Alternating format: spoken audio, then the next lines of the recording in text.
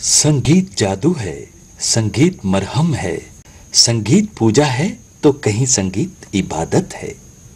और संगीत जिसके नस नस में उतर जाता है, वही इस जीवन का सही आनंद ले सकता है। क्योंकि संगीत में वो ताकत है जिसका अंदाज़ा लगाना बहुत मुश्किल है। बड़े से बड़े देवी देवता हो या पीर पैगंबर संगीत के ज़रिए प्रसन्न हो जाते हैं।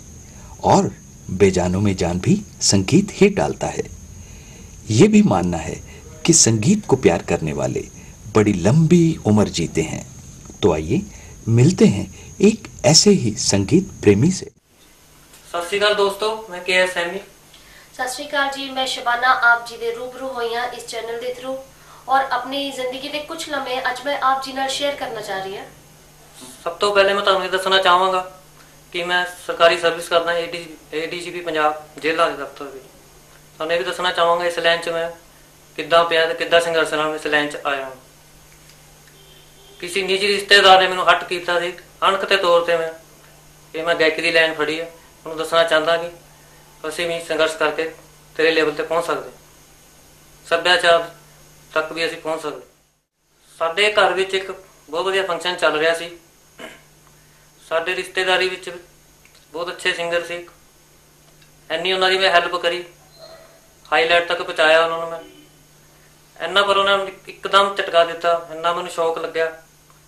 ਉਸ ਤੋਂ ਬਾਅਦ ਮੈਂ ਸੋਚਿਆ ਕਿ ਮੈਂ ਇਸ ਮਕਾਮ ਤੱਕ ਪਹੁੰਚਾਂ। ਜਿਸ ਤਰ੍ਹਾਂ ਇਹਨੂੰ ਮੈਂ ਪਹੁੰਚਾਇਆ, ਉਸੇ ਤਰ੍ਹਾਂ ਮੈਂ ਪਹੁੰਚ ਕੇ ਇਹਨੂੰ ਦਿਖਾਵਾਂ ਉਸ ਤੋਂ ਬਾਅਦ ਫਿਰ ਮੈਂ ਹਰ ਇੱਕ ਜਾਗਰਣ ਤੇ ਜਾਣਾ, ਹਰ ਇੱਕ ਦੇਖਣਾ ਕਿੱਦਾਂ ਸੁਰਤਾਲ ਚੱਕਦੇ ਆ, ਕਿੱਦਾਂ ਢੋਲ ਦੇਖਦੇ ਲੋਕ। ਉਹਨੂੰ ਮੈਂ ਰੈਡੀ ਕਰਦਾ ਰਿਹਾ ਕਿ ਕਿੱਦਾਂ ਗਾਣਾ, ਕਿੱਦਾਂ ਕਰਨਾ। ਉਸ ਤੋਂ ਬਾਅਦ ਮੈਨੂੰ ਅਮਰਜੀਤ ਮਾਨ ਕਰਾੜੀ ਵਾਲੇ ਮਿਲੇ। ਉਹਨਾਂ ਨੇ ਮੇਰਾ ਬਹੁਤ ਸਹਿਯੋਗ ਦਿੱਤਾ। ਉਹਨਾਂ ਨੇ ਭੇਟਾਂ ਲਿਖ ਕੇ ਦਿੱਤੀਆਂ ਮੈਨੂੰ। ਤੇ ਉੱਤੇ ਮਿਊਜ਼ਿਕ ਮੇਰਾ ਬਣਾਇਆ। ਬਹੁਤ ਹੈਲਪ ਕਰੀ ਉਹਨਾਂ ਨੇ ਮੇਰੀ। ਰਾਜੂ ਪ੍ਰਿੰਸ ਬਸੀ ਵਾਲੇ ਨੇ ਮੇਰਾ ਮਾਤਾ ਦੀ ਭੇਟ ਦਾ ਮਿਊਜ਼ਿਕ ਕੀਤਾ। ਬਹੁਤ ਅੱਛਾ ਮਿਊਜ਼ਿਕ ਕੀਤਾ। ਕੈਸਟ ਮੇਰੀ ਆ ਗਈ ਮਲਟੀ ਜੋ ਵੀਡੀਓ ਵੀ ਮੇਰੀ ਤਿਆਰ ਹੈ ਜੀ। ਮਾਤਾ ਦੀ ਭੇਟ ਦੀ ਮੈਂ ਤੁਹਾਨੂੰ ਇੱਕ ਦੋ ਲਾਈਨਾਂ ਸੁਣਾਵਾਂਗਾ। ਉਮੀਦ ਕਰਦਾ ਕਿ ਤੁਹਾਨੂੰ ਪਸੰਦ ਆਵੇ। ਮੇਰੀ ਮਈਆ ਦੀ ਜੈ ਜੈਕਾਰ ਰਲ ਮਿਲ ਬੋਲੋ ਭਗਤੋ ਮੇਰੀ ਮਈਆ ਦੀ ਜੈ ਜੈਕਾਰ ਰਲ ਮਿਲ ਬੋਲੋ ਭਗਤੋ ਜਿਹਦੇ ਸਦਕਾ ਚੱਲੇ ਸੰਸਾਰ ਰਲ ਮਿਲ ਬੋਲੋ ਭਗਤੋ ਜਿਹਦੇ ਸਦਕਾ ਚਲੇ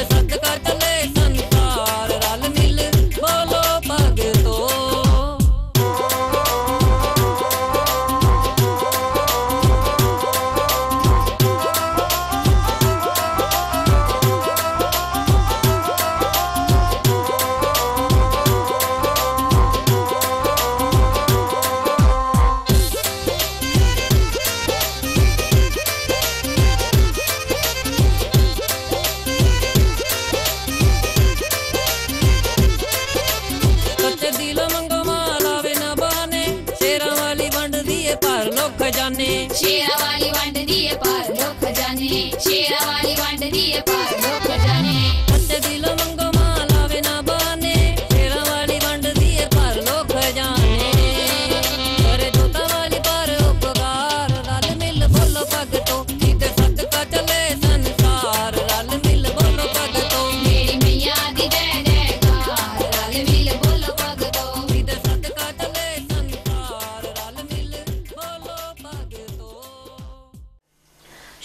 ਤੋਂ ਹੀ, ਬਚਪਨ ਤੋਂ ਹੀ ਮੈਨੂੰ ਸਿੰਗਿੰਗ ਵੱਲ ਕਾਫੀ ਮੇਰਾ ਰੁਝਾਨ ਰਿਹਾ ਹੈ।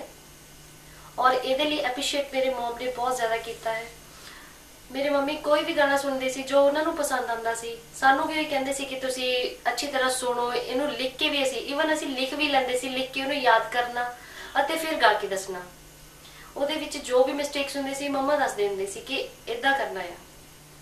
ਮੈਨੂੰ ਅੱਜ ਵੀ ਯਾਦ ਹੈ, ਜਦੋਂ ਮੈਂ ਚੌਥੀ ਕਲਾਸ ਦੇ ਵਿੱਚ ਪੜ੍ਹਦੀ ਸੀ ਬਾਲ ਸਭਾ ਲੱਗੀ ਸੀ ਤੇ ਮੈਮ ਨੇ ਮੈਨੂੰ ਗਾਣਾ ਗਾਣ ਲਈ ਕਿਹਾ।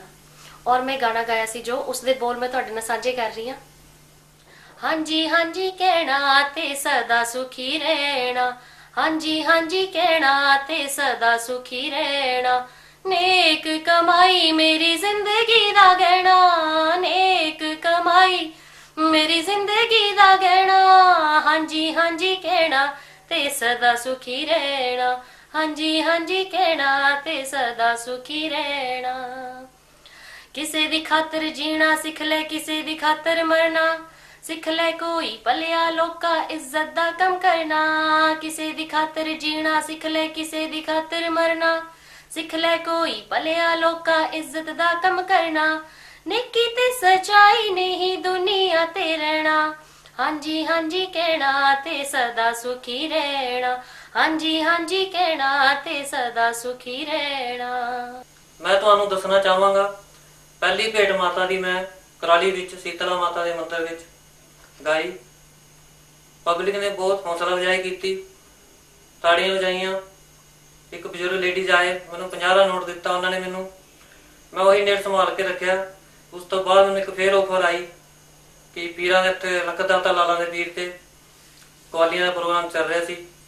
ਉੱਥੇ ਕਾਫੀ ਸਿੰਗਰ ਗਏ ਸੀ। ਸਾਨੂੰ ਆਫਰ ਕੀਤੀ, ਮੈਡਮ ਸ਼ਬਾਨਾ ਵੀ ਗਏ ਸੀ।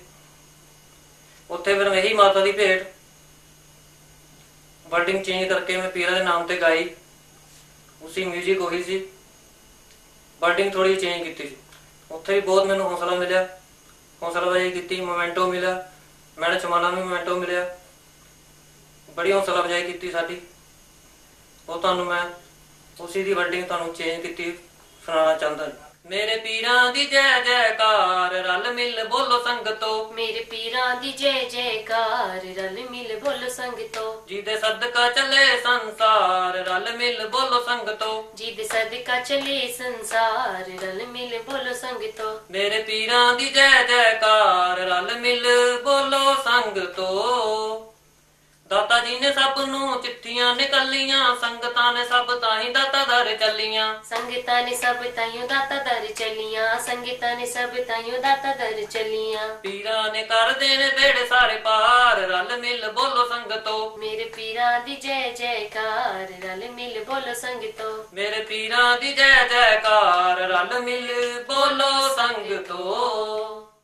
ਸਕੂਲ ਲਾਈਫ ਤੋਂ ਹੀ ਮੈਂ ਸਿੰਗਿੰਗ ਦੇ ਨਾਲ ਨਾਲ ਥੋੜਾ ਬਹੁਤ ਡਾਂਸਿੰਗ ਦਾ ਵੀ ਸ਼ੌਕ ਰੱਖਦੀ ਸੀ। ਕੁਝ ਪ੍ਰੋਗਰਾਮਸ ਆਏ, ਉਹਨਾਂ ਦੇ ਵਿੱਚ ਆਪਣਾ ਡਾਂਸ ਵਗੈਰਾ ਕਰਕੇ ਕੀਤਾ। ਔਰ ਉਹਦੇ ਵੱਲੋਂ ਵੀ ਕਾਫੀ ਅੱਛਾ ਰਿਸਪਾਂਸ ਮਿਲਿਆ। ਬਟ ਮੇਰੇ ਪੇਰੈਂਟਸ ਇਸ ਚੀਜ਼ ਨੂੰ ਲਾਈਕ ਨਹੀਂ ਕਰ ਰਹੇ ਸੀਗੇ। ਉਹਨਾਂ ਦਾ ਜ਼ਿਆਦਾ ਇਹ ਸੀ ਕਿ ਜੇ ਮੈਂ ਸਿੰਗਿੰਗ ਕਰਨਾ ਚਾਹੁੰਦੀ ਹਾਂ ਤਾਂ ਮੈਂ ਸਿੰਗਿੰਗ ਕਰ ਕਰ ਸਕਦੀ ਹਾਂ। ਬਟ ਇਹਦੇ ਵਿੱਚ ਵੀ ਮੈਨੂੰ ਸਟੇजेस ਅਲਾਉਡ ਨਹੀਂ ਸੀਗੀਆਂ। ਆਪਾਂ ਸਕੂਲ ਦੇ ਵਿੱਚ ਕਰ ਸਕਦੇ ਸੀ ਕਾਲਜ ਟਾਈਮ ਵੀ ਕਰਦੇ ਰਹੇ। ਔਰ ਟਾਈਮ ਟੂ ਟਾਈਮ ਮਤਲਬ ਕਿ ਲਾਈਫ 'ਚ ਕੁਝ ਨਾ ਕੁਝ ਚੱਲਦਾ ਗਿਆ ਔਰ ਸਿੰਗਿੰਗ ਕਿਤੇ ਨਾ ਕਿਤੇ ਪਿੱਛੇ ਹਟਦੀ ਗਈ ਮੇਰੇ ਤੋਂ, ਜੋ ਮੇਰੇ ਅੰਦਰ ਗਾਉਣ ਦੀ ਭਾਵਨਾ ਸੀ, ਕਿਤੇ ਦਬ ਕੇ ਰਹਿ ਗਈ। ਇਸੇ ਤਰ੍ਹਾਂ ਕੰਪਿਊਟਰ ਕੋਰਸ ਕਰਨਾ ਸ਼ੁਰੂ ਕਰ ਦਿੱਤਾ ਕੋਰਸ ਕਰਦੇ ਕਰਦੇ ਕਲਾਸ ਦੇ ਵਿੱਚ ਕੀ ਹੁੰਦਾ ਸੀ ਕਿ ਜਦੋਂ ਸਾਨੂੰ ਰਿਸੈਸ ਹੋਣੀ ਤਾਂ ਅਸੀਂ ਸਾਰੇ ਮੁੰਡਿਆਂ ਕੁੜੀਆਂ ਨੇ ਇਕੱਠੇ ਹੋ ਜਾਣਾ। ਇੱਕ ਅੱਛਾ ਇੱਕ ਲੜਕਾ ਹੋਰ ਸੀ ਜੋ ਬਹੁਤ ਹੀ ਗਾਉਣ ਦਾ ਸ਼ੌਕੀਨ ਸੀਗਾ। ਮੈਂ ਕੁਛ ਨਾ ਕੁਛ ਗੁੰਗੁਣਾਣਾ ਤਾਂ ਉਹਨੇ 뮤직 ਨਾਲ ਦੇਣਾ। ਇਸੇ ਤਰ੍ਹਾਂ ਸਾਨੂੰ ਬਹੁਤ ਹੀ ਅੱਛਾ ਲੱਗਣਾ। ਅਸੀਂ ਹਰ ਟਾਈਮ ਇਹ ਦੇਖਣਾ ਕਿ ਕਦੋਂ ਸਾਨੂੰ ਰਿਸੈਸ ਹੋਵੇ ਤੇ ਅਸੀਂ ਕਦੋਂ ਸਿੰਗਿੰਗ ਸ਼ੁਰੂ ਕਰੀਏ, ਕਦੋਂ ਗਾਣਾ ਗਾਈਏ। ਇਸੇ ਤਰ੍ਹਾਂ ਸਾਡਾ ਟਾਈਮ ਬੀਤਦਾ ਗਿਆ ਔਰ ਇੱਕ ਦਿਨ ਕੀ ਹੋਇਆ, ਸ- ਇੱਕ ਸਿਲਾਈ ਸੈਂਟਰ ਖੁੱਲਿਆ ਸਾਡੇ ਘਰ ਕੋਲ। ਉਸ ਦੀ ਓਪਨਿੰਗ ਲਈ ਮੇਰੀ ਫਰੈਂਡ ਨੇ ਕਿਹਾ ਕਿ ਇਸ ਤਰ੍ਹਾਂ ਕਰਕੇ ਸਿਲਾਈ ਸੈਂਟਰ ਖੁੱਲ ਰਿਹਾ ਹੈ, ਜੇਕਰ ਚਾਹਾਂ ਤਾਂ ਮੈਂ ਜੁਆਇਨ ਕਰ ਸਕਦੀ ਹਾਂ। ਉਸ ਦੀ ਓਪਨਿੰਗ ਤੇ ਮੈਂ ਇੱਕ Song ਗਾਇਆ ਜੋ ਕਿ ਕਾਫੀ ਅੱਛਾ ਲੱਗਿਆ ਸਭ ਨੂੰ ਸੁਣਨ ਦੇ ਵਿੱਚ। ਉਹ Song ਮੈਂ ਤੁਹਾਡੇ ਨਾਲ ਸ਼ੇਅਰ ਕਰਨਾ ਚਾਹ ਰਹੀ ਹਾਂ। ਨਾ ਧੁੱਪ ਰਹਿਣੀ, ਨਾ ਛਾਂ ਬੰਦਿਆ। ਨਾ ਪਿਓ ਰਹਿਣਾ, ਨਾ ਮਾਂ ਬੰਦਿਆ। ਨਾ ਧੁੱਪ ਰਹਿਣੀ, ਨਾ ਛਾ ਬੰਦਿਆ। ਨਾ ਪਿਓ ਰਹਿਣਾ, ਨਾ ਮਾਂ ਬੰਦਿਆ। ਹਰ ਸ਼ੈ ਨੇ ਆਖਿਰ ਮੁੱਕ ਜਾਣਾ। ਸ਼ਹਿ ਨੇ ਆਖਿਰ ਮੁੱਕ ਜਾਣਾ। ਇੱਕ ਰਹਿਣਾ ਏ ਰੱਬ ਦਾ ਨਾਂ ਬੰਦਿਆ। ਨਾ ਧੁੱਪ ਰਹਿਣੀ, ਨਾ ਛਾਂ ਬੰਦਿਆ। ਨਾ ਪਿਓ ਰਹਿਣਾ, ਨਾ ਮਾਂ ਬੰਦਿਆ।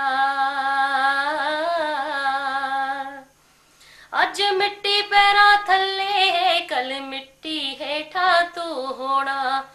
ਅੱਜ ਮਿੱਟੀ ਪੈਰਾਂ ਥੱਲੇ ਕੱਲ ਮਿੱਟੀ ਹੇਠਾਂ ਤੂੰ ਹੋਣਾ। ਜਦ ਪਤਾ ਏ ਸਭ ਨੇ ਮੁੱਕ ਜਾਣਾ, ਫਿਰ ਕਾਦੇ ਲਈ ਰੋਣਾ ਤੋਣਾ ਉਡੀਕਦੀਆਂ ਕਬਰਾਂ ਬੰਦਿਆ, ਉਡੀਕਦੀਆਂ ਕਬਰਾਂ ਬੰਦਿਆ। ਹਰ ਸ਼ੈ ਨੇ ਆਖਿਰ ਮੁੱਕ ਜਾਣਾ ਸ਼ੈ ਨੇ ਆਖਿਰ ਮੁੱਕ ਜਾਣਾ, ਇੱਕ ਰਹਿਣਾ ਏ ਰੱਬ ਦਾ ਨਾਂ ਬੰਦਿਆ। ਨਾ ਧੁੱਪ ਰਹਿਣੀ, ਨਾ ਛਾਂ ਬੰਦਿਆ, ਨਾ ਪਿਓ ਰਹਿਣਾ, ਨਾ ਮਾਂ ਬੰਦਿਆ। ਮੈਂ ਤੁਹਾਨੂੰ ਪਹਿਲੇ ਦੱਸ ਚੁੱਕਿਆ ਵੈਸੇ, ਸਭ ਤੋਂ ਪਹਿਲੇ ਮਾਤਾ ਦੀ ਭੇਟ ਗਾਈ, ਉਸ ਤੋਂ ਬਾਅਦ ਲਾਲਾ ਵਾਲੇ ਪੀਰ ਦੇ ਕੋਈ ਭਜਨ ਗਾਇਆ ਮੈਂ ਲਾਲਾ ਵਾਲੇ ਪੀਰ ਦਾ। ਉਸ ਤੋਂ ਬਾਅਦ ਮੇਰਾ ਟ੍ਰੈਂਡ ਇਹੋ ਜਿਹਾ ਚੇਂਜ ਹੋਇਆ। ਕਿ ਡੇਗੜਾ ਭਾਈ ਦੀ ਮੈਂ ਸੇਵਾ ਕਰਨ ਦਾ ਮੈਨੂੰ ਮੌਕਾ ਮਿਲਿਆ। ਗੀਤ ਵੀ ਇਹੋ ਜਿਹਾ ਮਿਲਿਆ। ਅਮਰਜੀਤ ਕੁਰਾਲੀ ਵਾਲੇ ਨੇ ਲਿਖ ਕੇ ਦਿੱਤਾ, ਅੱਛਾ ਗੀਤ ਲਿਖ ਕੇ ਦਿੱਤਾ ਮੈਨੂੰ। ਫਿਰ ਮੈਂ ਤਿਆਰੀ ਕੀਤੀ ਮੈਂ ਮੈਡਮ ਸਮਾਨਾ ਨੂੰ ਮਿਲੇ ਇੱਕ ਮਿੰਟ ਬਾਅਦ। ਉਹ ਕਹਿੰਦੇ, ਮੈਂ ਵੀ ਗਾਣਾ ਚਾਹੁੰਦੀ ਹਾਂ। ਉਹੀ ਗਾਣਾ ਫਿਰ ਆਪਾਂ ਡਿਊਟ ਗਾਣਾ ਗਾਇਆ। ਅੱਛੀ ਤਰ੍ਹਾਂ ਤਿਆਰੀ ਕੀਤੀ ਅਸੀਂ। ਡਰਾਈਵਰ ਭਰਾਵਾਂ ਵਾਸਤੇ ਮੈਂ ਗੀਤ ਰਿਕਾਰਡ ਕੀਤਾ। ਅੱਛੀ ਵਰਡਿੰਗ ਹੈ, ਅੱਛਾ ਸਭ ਕੁਝ ਹੈ। ਜਦ ਡਰਾਈਵਰ ਜਾਂਦਾ ਘਰੋਂ ਦੋ ਦਿਨ ਲੱਗਦੇ ਚਾਰ ਦਿਨ ਲੱਗਦੇ ਆ। ਪਤਾ ਨਹੀਂ ਕਦੋਂ ਉਹਨੇ ਵਾਪਸ ਆਣਾ ਕਦ ਨਹੀਂ ਆਣਾ ਮਹੀਨਾ ਵੀ ਲੰਘ ਜਾਂਦਾ ਸਾਲ ਵੀ ਲੰਘ ਜਾਂਦੇ ਨੇ। ਉਸੇ ਤਰ੍ਹਾਂ ਮੈਂ ਇੱਕ ਗੀਤ ਲਿਖਿਆ। ਮੈਨੇ ਸ਼ਮਾਲਾ ਦੇ ਨਾਲ ਗੀਤ ਗਾਇਆ, ਡਿਊਟ। ਇੱਕ ਗੱਲ ਮੈਂ ਹੋਰ ਸ਼ੇਅਰ ਕਰਨਾ ਚਾਹਾਂਗਾ। ਜਦ ਡਰਾਈਵਰ ਭਾਈ ਆਪਣਾ ਨਵਾਂ ਟਰੱਕ ਲੈਂਦਾ, ਉਹਦੀ ਆਪਣੀ ਵੱਖਰੀ ਹੀ ਛਾਲ ਹੁੰਦੀ ਹੈ। ਤੇ ਗੱਡੀ ਚਲਾਉਂਦਾ ਹੌਰਨ ਮਾਰਦਾ, ਤੇ ਕਹਿੰਦਾ ਪਿੱਛੇ ਹਟ ਜਾ ਸੋਣੀਏ ਇਹ ਤੁਹਾਨੂੰ ਗਾਣਾ ਅਸੀਂ ਗਾ ਕੇ ਸੁਣਾਵਾਂ ਸੜਕ ਤੇ ਕਿਹੜੀਆਂ ਤੂੰ ਗੱਡੀ ਜੀ ਚਲਾਵੇਂ? ਹੋਰਨ ਵਜਾਈਏ ਨੀ ਤੂੰ ਪਰੇ ਨਾ ਹਟਾਵੇਂ ਰੇ ਰੋਡ ਕੱਲੀ ਨੇ ਹੀ ਸਾਰਾ ਲਿਆ ਡੱਕਨੀ ਪਿੱਛੇ ਹਟ ਜਾ ਸੋਣੀਏ ਨਵਾਂ ਲਿਆ ਯਾਰ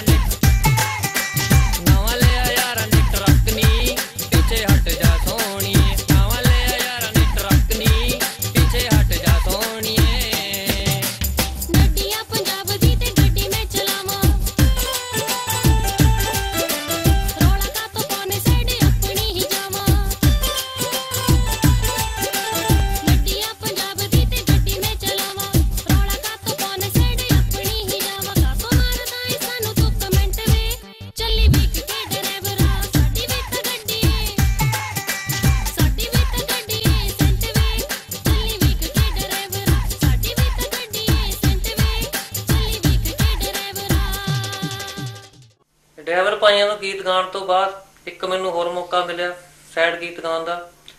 ਅਮਰਜੀਤ ਕਰਾਲੀ ਵਾਲਾ ਲਿਖਿਆ ਗੀਤ ਹੈ। ਇਹ ਵੀ ਬਹੁਤ ਅੱਛਾ ਗੀਤ ਲਿਖਿਆ ਹੋਇਆ ਅੱਜ ਕੱਲ ਦੇਖਿਆ ਜਾਂਦਾ ਹੈ ਅੱਜ ਕੱਲ ਕੁੜੀ ਮੁੰਡੇ ਪਿਆਰ ਪਾ ਲੈਂਦੇ ਆਪਸ 'ਚ। ਨਿਭਾਉਣੇ ਬਹੁਤ ਔਖੇ ਹੋ ਜਾਂਦੇ ਕਈ ਅੜਚਨ ਆ ਜਾਂਦੀਆਂ। ਕਦੀ ਮਾਂ ਪੇਰੈਂਟਸ ਨਹੀਂ ਮੰਨਦੇ ਕੁੜੀ ਦੇ, ਕਦੇ ਮੁੰਡੇ ਦੇ ਮਾਪਿਓ ਨਹੀਂ ਮੰਨਦੇ। ਕਈ ਹੋਰ ਕਿਸੇ ਦਾ ਲਾਈਫ 'ਚ ਕੋਈ ਹੋ ਜਾਂਦਾ ਕੰਮ। ਕਿਸੇ ਕਾਰਨ ਇਕੱਠੇ ਨਹੀਂ ਹੋ ਸਕਦੇ ਇਕੱਠੀ ਆਤਮਾ ਨਹੀਂ ਮਿਲ ਸਕਦੀਆਂ। ਇਸ ਕਰਕੇ ਉਸ ਦੇ ਤੇ ਇੱਕ ਗੀਤ ਲਿਖਿਆ ਹੈ ਕੁੜੀ ਫਿਰ ਆ ਕੇ ਦੱਸਦੀ ਹੈ ਭਾਈ ਮੈਂ ਕੱਲ ਨੂੰ ਮੈਂ ਡੋਲੀ ਚੜ ਜਾਣਾ। ਉਹ ਗੀਤ ਅਸੀਂ ਡਿਊਟ ਕੀਤਾ ਮੈਨੇ ਸ਼ਬਾਨਾ ਤੇ ਕੇ ਐਸ ਸੈਮੀ ਨੇ ਇਕੱਠੇ ਡਿਊਟ ਗਾਣਾ ਗਾਇਆ। ਉਹਦੇ ਤੁਹਾਨੂੰ ਗੀਤ ਅਸੀਂ ਬੋਲ ਸੁਣਾਵਾਂਗੇ। ਤੇਰੇ ਕੋਲ ਚੰਨਾ ਮੈਂ ਤਾਂ ਇੱਕ ਦਿਨ ਹਾਂ ਆਪਾਂ ਇਸ਼ਕ ਦੀ ਬਾਜ਼ੀ ਹਾਰ ਜਾਣਾ ਏ। ਢੋਲੀ ਗੈਰਾਂ ਦੀ ਜਦੋਂ ਤੂੰ ਚੜ ਜਾਵੇਂਗੀ ਤੇਰੇ ਪਿਆਰ 'ਚ ਮੈਂ ਜਿਉਂਦਾ ਮਰ ਜਾਣਾ ਏ। ਸੋਹਣਿਆ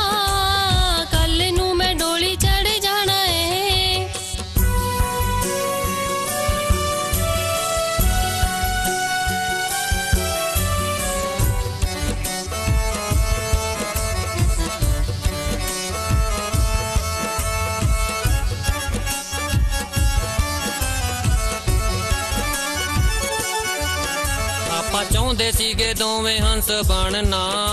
ਅਸੀਂ ਆਪਣੀ ਤੋਰ ਵੀ ਭੁੱਲ ਗਏ। ਸੋਚਿਆ ਸੀ ਅੰਬਰੀ ਉੱਡਣਾ। ਸਾਡੇ ਚਾ ਮਿੱਟੀ ਵਿੱਚ ਰੁੱਲ ਗਏ। ਸਾਥੋਂ ਹੋ ਗਏ ਨੇ ਕਿਨਾਰੇ ਬੜੀ ਦੂਰ ਨੀ ਜੁਦਾਈਆਂ ਦੀ ਨਦੀ 'ਚ ਹੜ ਜਾਣਾ ਏ।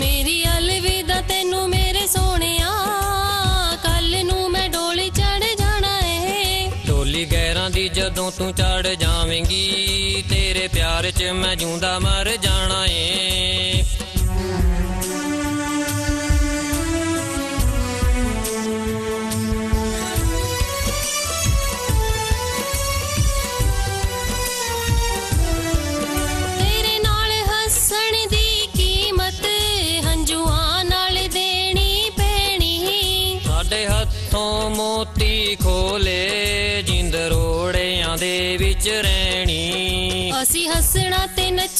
ਭੁੱਲ ਕੇ ਬੁੱਤ ਬਣ ਕੇ ਲੋਕਾਂ 'ਚ ਖੜ ਜਾਣਾ ਏ ਡੋਲੀ ਗੈਰਾਂ ਦੀ ਜਦੋਂ ਤੂੰ ਚੜ ਜਾਵੇਂਗੀ, ਤੇਰੇ ਪਿਆਰ 'ਚ ਮੈਂ ਜੂੰਦਾ ਮਰ ਜਾਣਾ ਏ।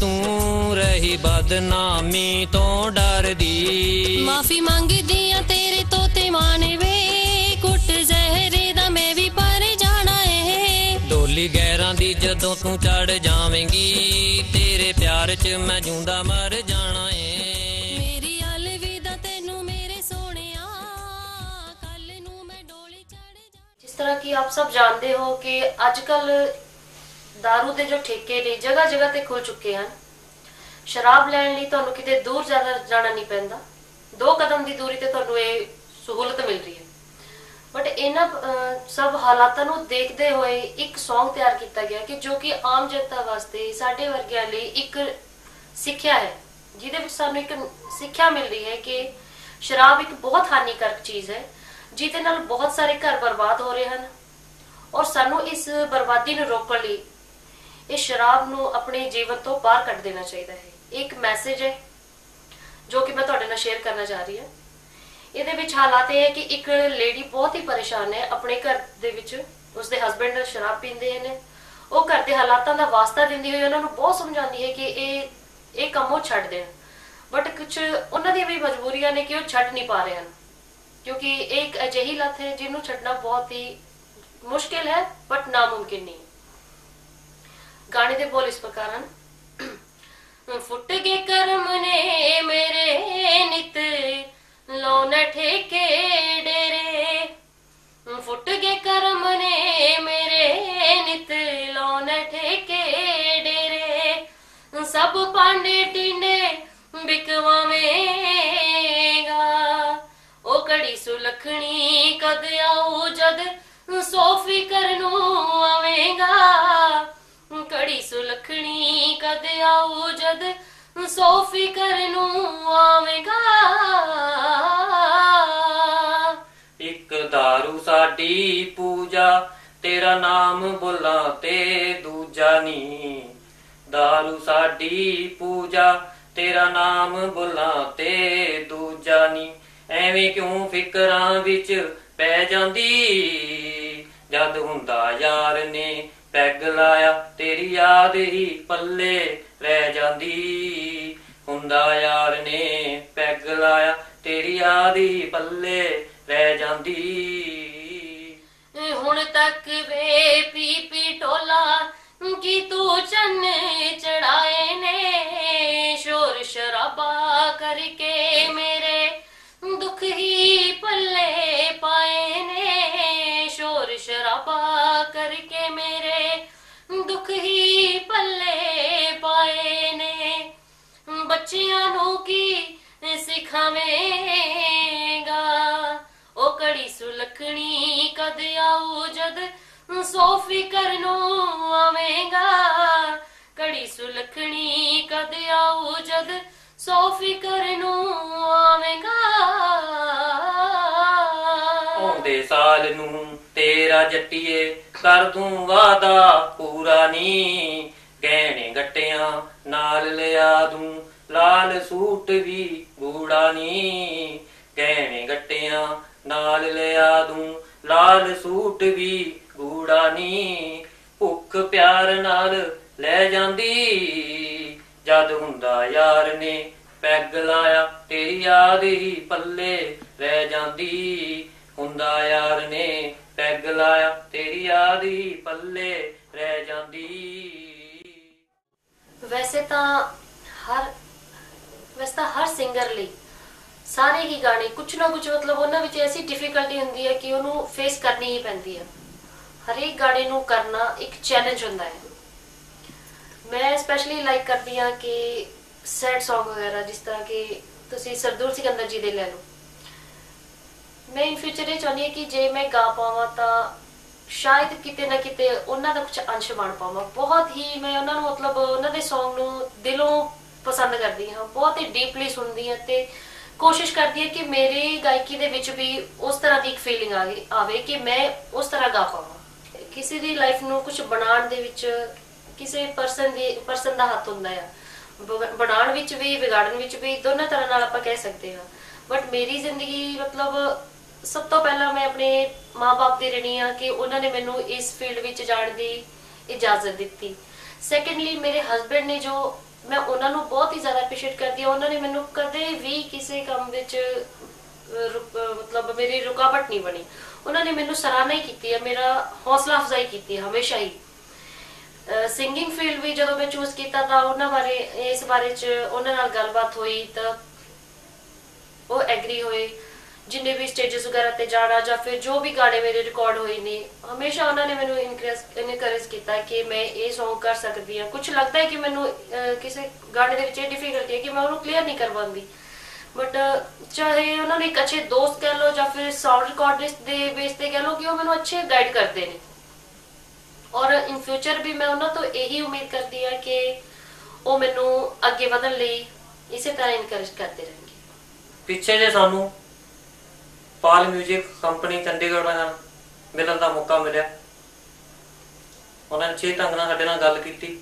ਆਪਣੇ ਗੀਤ ਸੁਣਾਏ ਆਪਾਂ ਪੁਰਾਣੇ ਜਿਹੜੇ ਗਾਏ ਹੋਏ ਆ, ਜਿਹੜੇ ਜਲਦ ਮਾਰਕੀਟ ਵਿੱਚ ਆ ਰਹੇ ਆ। ਉਹਨਾਂ ਨੇ ਗੀਤ ਸੁਣੇ, ਪਸੰਦ ਕੀਤੇ। ਉਹ ਕਹਿੰਦੇ ਤੁਹਾਡਾ ਅਸੀਂ ਮਾਤਾ ਦਾ ਪ੍ਰੋਜੈਕਟ ਕਰਾਂਗੇ। ਓਮ ਸ਼ਰਮਾ ਜੀ, ਚੰਡੀਗੜ੍ਹ ਵਾਲਿਆਂ ਨੇ ਸਾਡਾ ਪ੍ਰੋਜੈਕਟ ਮਾਤਾ ਦਾ ਰਿਲੀਜ਼ ਕਰਾਉਣਗੇ। ਜਿਸ ਤਰ੍ਹਾਂ ਕਿ ਤੁਹਾਨੂੰ KSME ਜੀ ਨੇ ਦੱਸਿਆ ਕਿ ਪਿੱਛੇ ਸਾਨੂੰ ਪਾਲ 뮤직 ਕੰਪਨੀ ਦੇ MD ਸ਼੍ਰੀਮਾਨ ਓਮ ਸ਼ਰਮਾ ਜੀ ਨਾਲ ਮਿਲਣ ਦਾ ਮੌਕਾ ਮਿਲਿਆ। ਬਹੁਤ ਹੀ ਅੱਛੇ ਇਨਸਾਨ ਨੇ। ਹੁਣ ਜਿੰਨੇ ਵੀ ਆਪਣੇ Song ਆ ਰਹੇ ਨੇ, ਉਹੀ ਰਿਲੀਜ਼ ਕਰ ਰਹੇ ਨੇ। ਔਰ ਉਹਨਾਂ ਦੇ ਬਦੌਲਤ ਹੀ ਇੱਕ ਪ੍ਰੋਜੈਕਟ ਅਸੀਂ ਹੋਰ ਸ਼ੁਰੂ ਕੀਤਾ ਹੈ, ਜੋ ਕਿ ਮਾਤਾ ਦੀਆਂ ਭੇਟਾਂ ਹਨ। ਜਿਸ ਜਿਸ ਦੇ ਉੱਪਰ ਅਸੀਂ ਇਸ ਵਕਤ ਕੰਮ ਕਰ ਰਹੇ ਹਾਂ। ਜਲਦ ਹੀ ਉਹ ਵੀ ਮਾਰਕੀਟ ਦੇ ਵਿੱਚ ਆ ਜਾਏਗਾ। ਬਾਕੀ ਦੋਸਤੋ, ਗੱਲਾਂ ਤਾਂ ਤੁਹਾਡੇ ਨਾਲ ਸਾਂਝੀਆਂ ਕਰਨ ਵਾਲੀਆਂ ਬਹੁਤ ਹਨ ਬਟ ਸਮਾਂ ਇਸ ਗੱਲ ਦੀ ਇਜਾਜ਼ਤ ਨਹੀਂ ਦੇ ਰਿਹਾ। ਇਸ ਲਈ ਜਿੰਨਾ ਰਹੇ ਤਾਂ ਫਿਰ ਮਿਲਾਂਗੇ। ਤਦ ਤੱਕ ਸ਼ਬਾ ਖੈਰ, ਰੱਬ ਰੱਖਾ, ਸਤਿ ਸ਼੍ਰੀ ਅਕਾਲ ਜੀ।